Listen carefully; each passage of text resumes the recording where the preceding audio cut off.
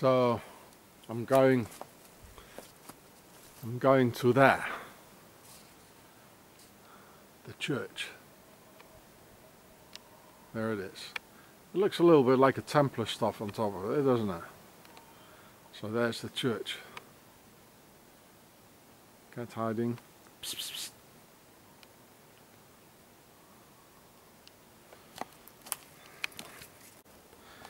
So I already filmed this all for you years ago, but this is not what I wanted to tell you now. What I wanted to tell you now is who are the Italians anyway? Who are they? You know? So this is called Liguria, I already told you that. It's an abandoned village. There's only one one family who came living here again. So I've I've I've been spending here months all alone, you know, nobody here, eh? Uh, they're real nice people anyway, actually. In that house there, where you see the lamppost. There. Real nice people. They're only friendly to me, I think. I saw them, you know, like Swiss passing by and Germans. They just said hello and that was it, you know. Uh, they're not stupid, eh? So, it's the church? It's abandoned. Everything is abandoned. So, this is religion, eh? It's a state religion. And as there's nobody living here eh, anymore, the church is dead as well. Eh? I mean, it should always be, if it would be real, you know, it should be still going on, eh? But anyway, who are the Italians? The Italians actually, they're not really Europeans. And people talk a lot, a lot about it now, how uh, there's so many immigrants, especially in Italy, you know. The whole fascist stuff is all coming back nowadays. And I talked with a black young girl, he said, oh, we, we're treated horrible by them. And it happened to me last summer. I got arrested by the police because uh, the, the Italians, they called up the police, just like they did in Spain, except Catalonia. Uh, and they came, you know. Uh, I was smart, so I, I, got, I got away with it. But you, you're going to feel fascism coming back here in Italy, which is an Italian thing anyway. Mussolini was two years in Switzerland, eh? where he got uh, where he got taught, just like Lenin, just like Hitler. They all Mussolini lived two years. He lived in Switzerland, right? And um, so did um, so did um, Lenin, 15 or 20 years. I thought it was even 20 years. So who are they? I tell you who they are. They all talk about nowadays about you know, third world country immigrants, but nobody talks about the fact the millions of Italian immigrants that are all over Northern Europe being treated very well. Right? There are more, I tell you, there are more Italian immigrants, I think, in Northern Europe than there are altogether like Muslim immigrants and all that. Why we don't talk about it? You know, because they're Pharaoh's slaves. They came, Pharaoh took his slaves, the aristocracy, they took their slaves. They're good slaves and they're soldiers. They built up the Roman Empire. Then they murdered all the Celts in Italy. Here, Liguria, the Ligurians, is a Celtic tribe. They murdered them all. You know, the people still, you know, they tried, they survived in the mountains, you know, sort of. Yeah, you know, they all leave them alone. They're just uh, some hillbillies anyway, you know, like this, you know just fuck, rape their women and leave them alone then. Okay, they had enough, yeah. You know, they're down already. So, they, they, they kill all the Celts. That's why the Romans, they had a problem with the Celts, you know, and they said, uh, nah, hey, you want to talk in the camera? He's a really nice one here. It's a male cat, but they, they, they cut his balls because otherwise there would be too many of them. Hey? He's very smart. Uh, yeah. I let him. I let him into the house, you know, the other day, you know, for like half an hour. It was raining so much. He was so happy. Right? And um, yeah, of course they took their slaves with them. You know, that's why they say now in history that the um, oh dear, that's all. That the uh, Romans they had uh, attacks by the by the northern tribes of the Celts all the time. No, no, no, no. It's the other way around. Eh? It's all a lie. So the Italians actually they're very different. I can see it with hitchhiking. You know, you know, like in France, the French they they take hitchhikers. Yeah, they don't invite you home, but they take hitchhikers. But if I see Italians, I, I don't even have to ask them. You know. So I know that they're, they're not going to even gonna gonna answer me. But these people here in these mountains, they're in the northern mountains, they're very they're quite different. But of course, it's all by the pharaonic invasions, the Roman invasions all over Europe. This used to be Europe here; it's not anymore, really. And it's all pharaonic. So they, the Italians, are the good slaves of Pharaoh. That's why after the war two world wars because of the uh, transition from the old world order to the new world order. Uh, they brought in so many Italian slaves. Um, the Italians hardly suffered during World War II and World War One. Well, World War One, yeah, they, they did suffer. The man died. Uh, they got rid of a lot of um, naughty slaves, like you know, make better slave, kill the man. They probably sent the Ligurians in the first row, just like the uh, the French. They they sent the the Brittany people, the Celts, into the first rows in Verdun and La, and La Somme, you know, so, so they get killed first. And look at what the Italians did. You know, Th this is why it started in you know the Etruscans. The Etruscans, Rome started with the Etruscans. They they were the first settlements of Pharaoh who were um, worshipping Isis and obelisks and, and, the whole pharaonic thing, and sort of a runic alphabet because because of the Haunebu, who were the, the Vikings having a um, the sea peoples having a um, an alliance with Pharaoh. And look at what the Italians did in Abyssinia, which is called Ethiopia now, uh, in the 1920s, you know, with the fascism coming up and all that the fascism, you know, and uh, they they they they did uh, biological warfare on on children and on you know throwing biological bombs, you know, down from from from the airplanes, double winged airplanes and all that.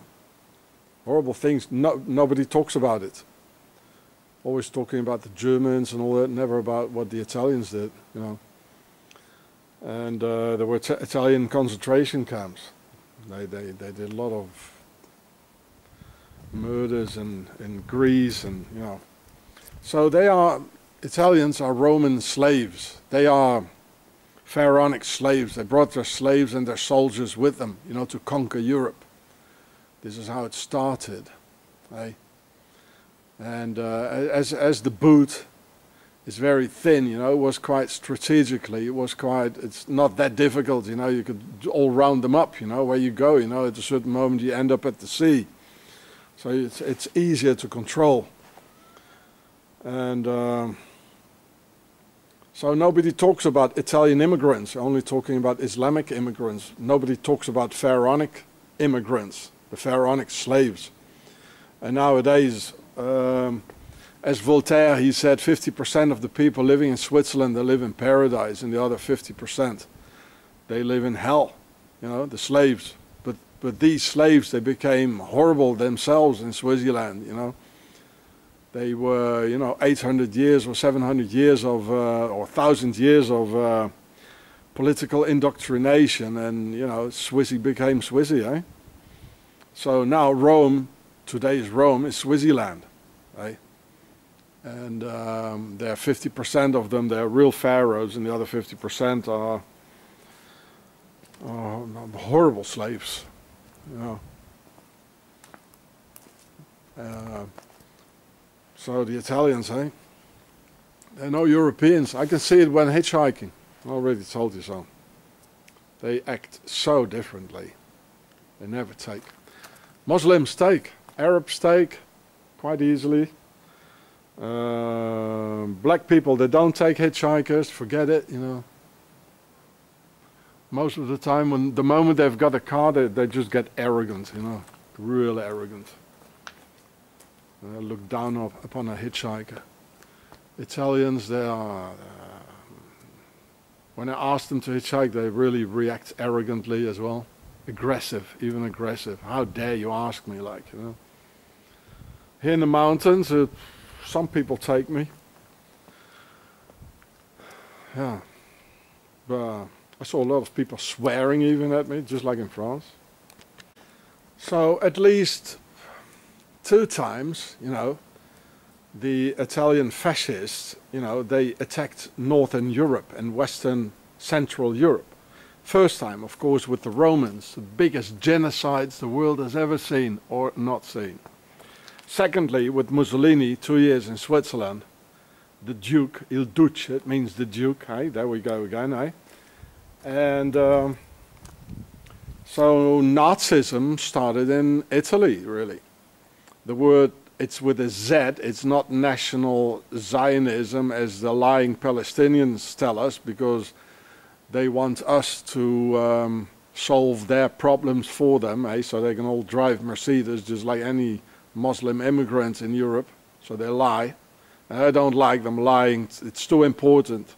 That's why I don't like Palestinians very much, because they lie to us. And uh, so the word Nazi with a Z, as in German is with a T, nationalismus. It's from Italian. You write it with a, with a Z. In American with a Z. In English with a Z. In, um, in English. Nazionalismo. Nazionalismo. It's with a Z. It comes from the Italians. They call them the Nazis. And then the Germans took it over. Oh, a nice word, eh? The Nazis, yeah? And then they attacked us again, you know, pharaonic Italian slaves, they started it again. And uh, they helped building up Hitler's force as well, you know, Mussolini and all that. They, he was before Hitler. And um, as the Germanic warriors are probably the best warriors in the world, you know, well, to call them soldiers, I mean, a warrior doesn't take orders from a, well, from a general see my film Soldier versus Warrior. But they were warrior, warriors, they became soldiers. And now, with the nationalism and the fascism getting up in Italy, so this is really the last time, I don't feel safe here at all.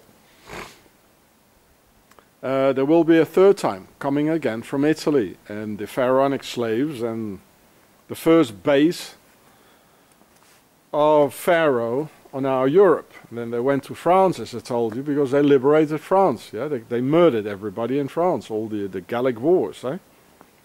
And now they're all over. But it, every time it starts from Italy. And this is the reason. So, okay, it's Christmas, eh? So we should ring the bell, shouldn't we? Eh? Look at that. There's the bell. Well, let's go and ring it, eh? To end the show. There we go, the bell.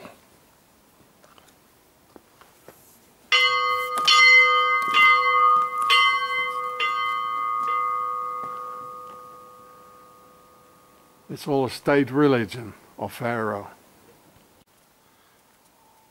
But of course, the Italians, they don't even know anymore, you know, where they come from, you know. It's just a facade, you know, like Italy. And their history is like here, you know, right behind it. It's like, look, it's like all eroded. Why? There's nothing behind it, you know. Because the slaves, the dumb slaves, they have no tradition. They have nothing written down like our masters. So when grandpa dies, nobody knows anymore, you know. It doesn't go any further, and even grandpa, they, they just live day by day, you know. Just a facade, look at it.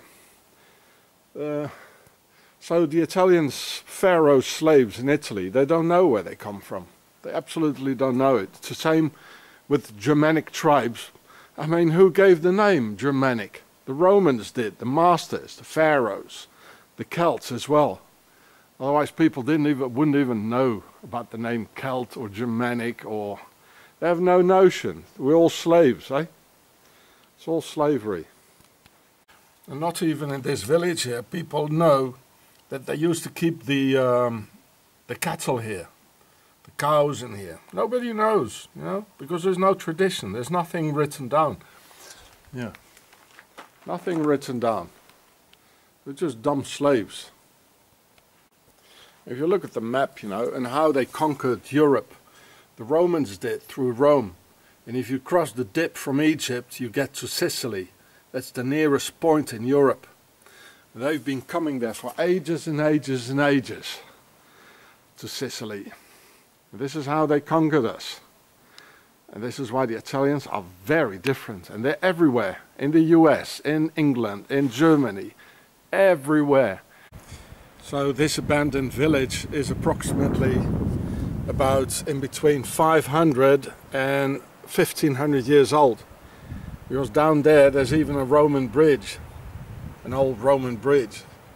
So the Romans could be 2000 years old. But th the thing is nobody really knows. The slaves, they don't know. Because they're slaves, you know? They don't even know where they come from that they are from Egypt. If they don't even know how old the village is, you know, they don't know it. They don't know nothing because there's nothing being written down. People were just surviving and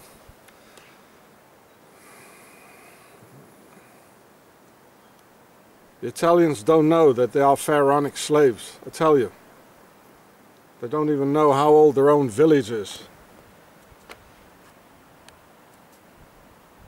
They don't even, even if grandfather is still alive, I mean, who listens to him, you know? And he didn't write anything down, nobody did. And his father didn't, his grandfather didn't. People couldn't even write. Now they can write, but they still don't write it down. Because the only, the only ones who really understood that it's important to write things down, which is the difference between a slave and a master, so that the next generation doesn't have to start all the, all all from scratch again you know? So you have to write things down but the slaves don't. I tell you the Italians are very different. They're in the US in Germany they're everywhere and they're very different and they don't even know where they come from it was all Celtic Italy was all Celtic down the boot you got Sicily. You know, it's just across. It's just across the dip from Egypt.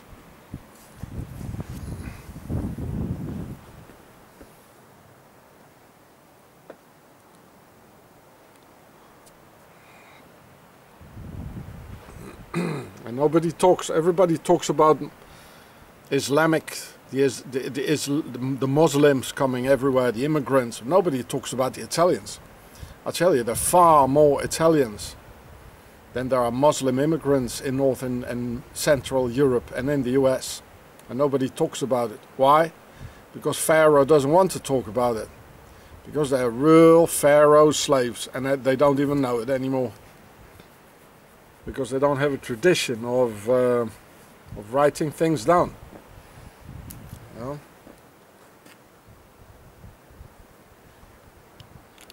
Italians are very different. Very different. I can see that with hitchhiking.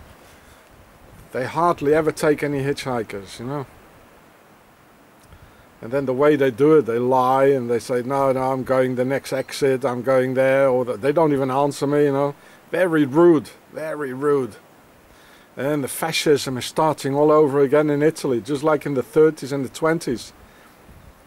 Nazism, it comes from the Italian fascists. The word Nazi is from the Italian nazionalismo. It's not from national Zionism or some bollocks. Some Palestinian found out that it fits nice together. Come on. It's from the Italians, you know.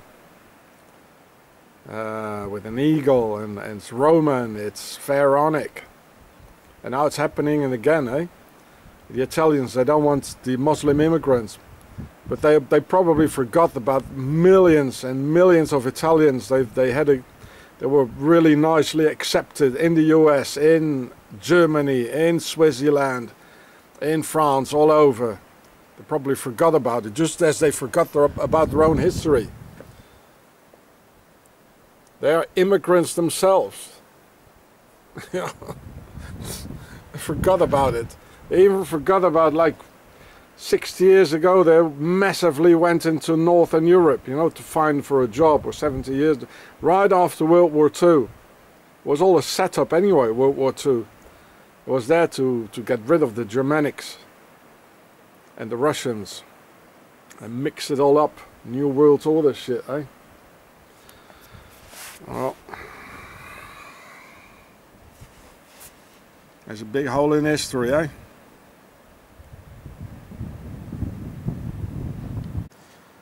He or she who doesn't write things down has no history.